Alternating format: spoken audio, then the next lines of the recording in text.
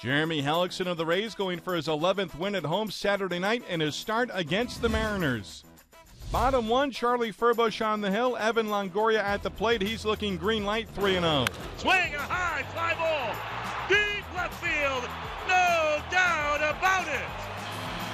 Evan Longoria with his 20th home run. He did get the green light on 3 0, and he gives the Rays a 2 0 lead here in the first. Call courtesy of WDAE Radio. Top two, two on, two outs. Hellickson strikes out Trayvon Robinson on the check swing. Side retired. Bottom three, Rays looking to add more runs. Johnny Damon, he delivers against Furbush. RBI single in the left field. That scores Desmond Jennings. Rays on top 3 0. Later in the inning, base is full, and it's Sean Rodriguez at the dish.